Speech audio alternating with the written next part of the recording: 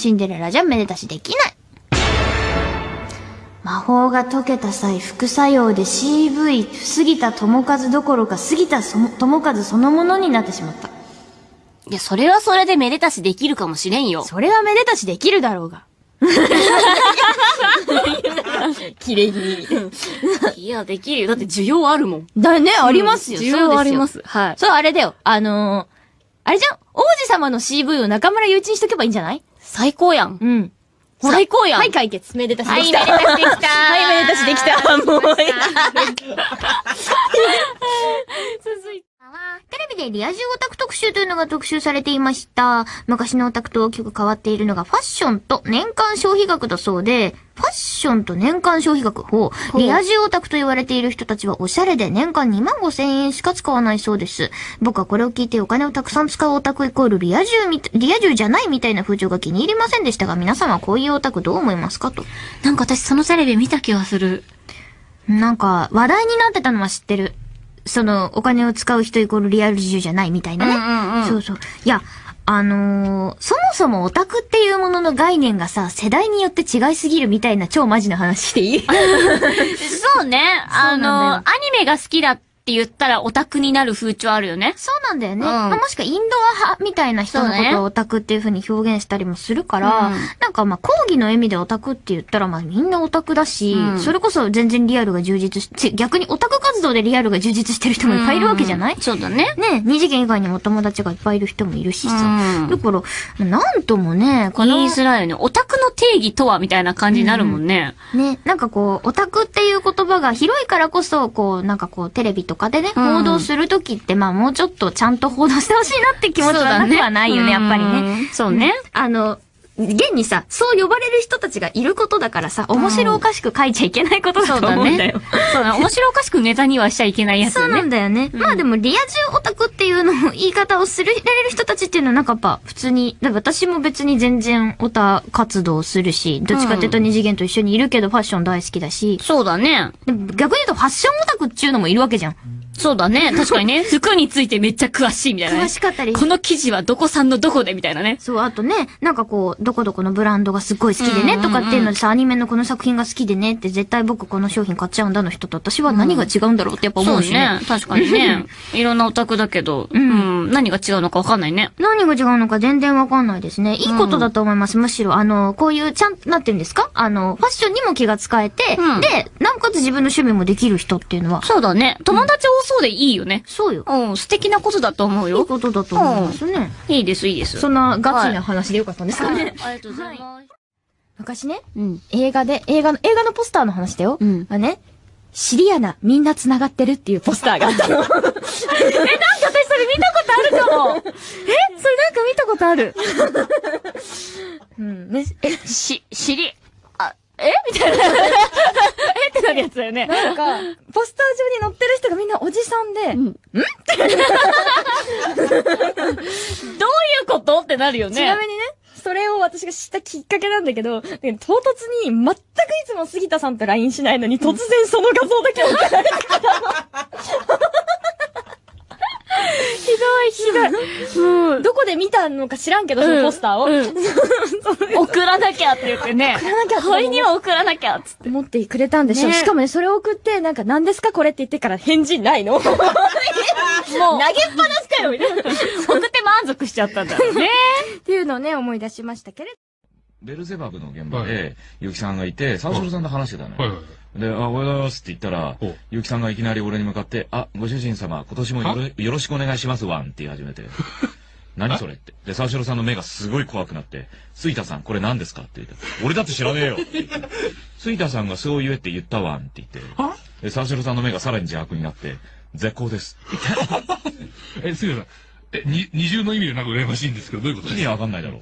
ゆきさん、なんか、急にそんなひどいギャグを言い始めてね。いやいや、俺、杉田さんのこと見損ないましたよ。そんなわけねえだろ。え？何？え、ゴーフローにご主人様ってます？え？うん、違うよ。多分あれ、岡本くんはいの名前ネタで、はいはいあの、盛り上がった時があって、あーお兄ちゃんと呼んでいいんだよってあーじゃあ俺はご主人様とかかなって言ったら多分ボコられますよ、みたいな。コにもふざけんなよ。お兄ちゃんってっていうボケを言ったら、それを覚えてたみたいで、よりによって沢城さんにチクりやがったって。うーん。でも沢城さん可愛いんだよ。次の週会った時にあ、杉田さんおはようございます。ああ、そうだ。今、杉田さんとは絶好中だった。あ、引っ張ってるんだ。そうそうそう。今引っ張られてる状況だから、今絶好中ですごい凹んでんだよね、これね。俺だってお兄ちゃんって呼ばれてえよ。いや、でも沢城さんのね、あの、絶好ですって言い方がすげえかっこよくて。しょー、杉田さん、なんでそんなに美味しい思いしてるなんで羨ましいんだよ。羨ましいって話。最初の日はマジで凹んだんだからね。冗談でも子供にそういう嘘言っちゃいけないな、みたいな。ああ。な、何でいじられるか分かったもんじゃないそうですよ、本当に。逆襲ですからね、それは。うんひどいもんだよ。語尾のワンは何なんですか？わかんない。ご主人様って。意外とあざといな。なわけねえだろうよ。最近現場が一緒になんないからな最近の結城さんどう、あ、あった。一個エピソード。スマッシュブラザーズで、もうなんかアシストフィギュアでシャドウが出てきたのよ、ポンって。シャドウいいんじゃんと思ってうん、送ったらもうすでに知ってたらしくてう、ん。すごいテンションだって。で、そんなことも知らないのかぐらいの返信が書いてあってそんなことも知らない。煽られた。そうそうそう。す、すいませんってとりあえず言って。す、すいませんって言って。スマブラ好きそうですからね。ねえ、本当に。ソニックがやっぱ参戦してるから嬉しいんじゃないかな。うん。青井沙織のとあるイベントで、えー、祇園号山手線ゲーム形式で行ってくコーナーがありました。はい。すると、結城さんは、ついててと、早見さんに振り、早見さんは、中村さんとく、くり、えっ、と、振り返し、二人ともモノマネしてました。早見さんが杉田さんのモノマネをするとき、中村と呼ぶときであろうセリフでした。うん。うん。えー、何これ？どんな風に？超聞きたいんだけど。杉田さんのモノマネをする早見さん。めっちゃレアじゃないか。すげえなすごい音源ですね。なんだろうな。その音源欲しいですね。俺の中ではだって1秒でも思い思い出したくないぐらい嫌われてると思う。いや、そんな嫌ってたらこうやって出さないですよ、そんなイベント。だと思うけどね心。いや、迷惑だとは思ってるよ、多分。あー思ってないですそうじゃない気にむしろ気になるのは、杉田さんのモノマネが、結城さんの方がクスと汚いの言ってて、早見さんの方がちょっと綺麗めにやってるのが気になるんですけど。どうしていいかわかんない。それ、ゆきさんですか？うすぎたさ。うわ、えぐえぐ。えぐーって呼ばれたこと呼ばないでしょあ、ないんだ。えーなんて呼ばない？江江口口ささん。ん。江口だ。なんで今日濁ってるんですか？いや、だってそんなイメージなんだもん。よどんだ空気っていうスキルが常に発生してるから。タラタタタジオって言ってる。スタートにね、スタートに修羅転生が発動するみたいな感じで、よどんだ空気ってなって。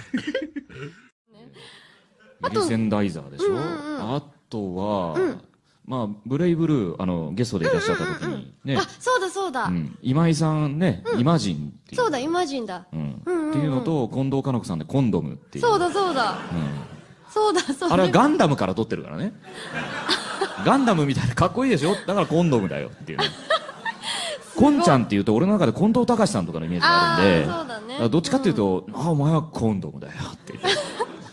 困惑してたけどね、こ本人ね。そうね。うんうんうん。そうね。いやーまあ本当に素のテンションで嫌ですって言われたら変える予定だったので、今んところそんな素振りもないので大丈夫かなっ、て。あそっかそっか。他にはいるんですか？あとはスーパーロボット対戦のラジオで一緒にやってるうんうんうん。二人が、えっと、斎藤さんがエリンギで、うんで相沢さんが森そばっていう。そうだそうそれ聞きたかったの。あの、エリンギも森そばも全くわからない。私一度ゲストでお邪魔したことがあるんですけど、なぜなぜ？えっとね、も、もい、もいって、まいなんで、その、相沢さんの名前が。よくわかんない変なあだ名がついてたんで、こんなん呼びたくねえなって心の中で。もでしょ？あードラクエ4コマから、お前森そばでいいよってなって。で、斎藤理恵さんで、うんで、それもなんかな、えっ、と、なもう、エリ、リエ、えっ、と、エリンギってなってね。もう、それでいいや。ほら、なんか、そのエリンギみたいな形好きでしょ？って言って、言ったら、あの、嫌いじゃないみたいな。なんてノリのいい。割と下ネタに寛大なんだよ。二人は喜んでるの？気に入ってる？そのまま使い続けてもう4年経つんで、あ、長いですね。今更変えようもないだろうっていう。そっか。まあ、確かにあの、ミカコングもかなり長いと思うんですよ。確かにウェルベールからだから、相当長いよね。そうそう。島には縮まってコング先輩になってるから。なんで特攻野郎みたいになってんだって。もう原型、原型とどめつだよ。でもね、いいことばっかりじゃないんだ。最近ですね、結城葵さんに、あの、子供先生っていうあだ名をつけたんですよ。うん子供先生半端ないわって言ってたら、結構、あの、杉田さん、お渡し会とかで子供先生って結構言われるんです。あれ何なんすかって言われて、え、え、うん、うん。えっとね、え先生ってことは尊敬してるってことなんだよ。いやーもう見たことないようななんかこういう半目のこういうじとめでこうやってた後に、なんかこう中村くんの後ろにくるくるってこう隠れて、このおじさんがいじめるってなんでね。その時の中村のあのまたこの下げすむような目でね。なんかちょっとわかる気がする。杉田さん、大人げないっすよ。杉田さんって何って。本当今俺を殺したかったら海に連れて行くか子供先生をぶつけることっていう。どっちか。俺は死に至る。すごいなえ、ベスト3はちなみに、あるやのっぱりゴッドゥーザー様かなって。うーん。まあでもミカコング先輩は五感的にすごい気に入ってるんで。すごい気に入ってるんだ。知らなかった。え そっか。はい。じゃあ、まあ、これからもね、はい。あだ名をつけ続けて。新しくまたね、そういう共演者とか出てきたら、まあ勝手にまた言い出すと思うんで。うんうんうん。まああんまり悪い風に流行ってほしくないな。そうだねな。ら言わなきゃいいじゃねえかっていう。愛ゆえってことで。はい。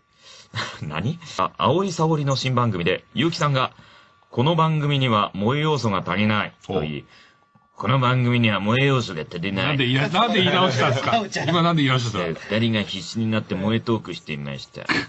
その中で、早見さんが結城さんのお誕生日ケーキをおい美味しくなる魔法をかけて、ほその魔法がかかった結城さんが、ミサオの味がするね。と僕はとてもテンションが上がってしまいました。ドラク、早見さんの味ってどんな味？う。どんな味？うん。どんな味でしょうね。さあ。そんな中、ケドインは、杉田さん、あの、こちらをって言ってほ、ね、URL が送られてきて、行ったら、なんか、結城さんがアイスペロペロ食ってるやつだった。うん、ちょっと待って、ちょっと待って。え、な、え、え？なんか、この番組のんロケかなんかであったんじゃない？うんうん早見さんもアイス食ってたよ。おううんなぜアイス食ってる動画を送りつけてるんですか画像がなんか送られてきてお、ケドインさん、これは？っていうね。きっと杉田さんが喜ぶと思ってって言われて。まあ、喜んだんでしょうね。いいえ。え？葵の方はいい。沙織の方の画像はねえのか。ちょっと、ちょっと。判定はいかが？アホガール見ました。ああ、見た、見た、見た。見ました。その2話にてですね、うん。えー杉田さん演じられております、アクロくんがですね、風紀委員長に妄想の中で言ったセリフ、お前の風紀を乱したい。こちらは塩沢さんを意識したのでしょうか？いやいや、あれは風紀委員長の。妄想の中のなんかこう、か美形になったあっくんって書いてあって自分の中のかっこいい声を、チャンネルを探したら一番最初に、塩沢さんが出てきた。お前の風紀を乱したい。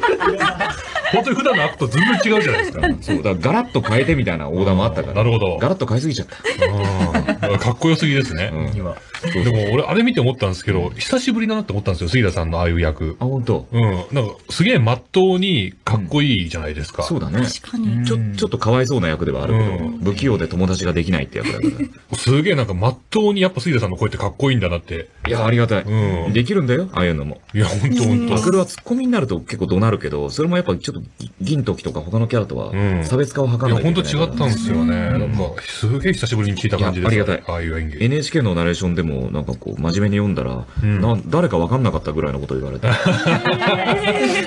なんだと？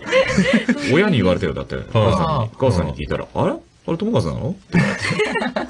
うん。ところで森川さんはナレーションを読まないのかしらって言って。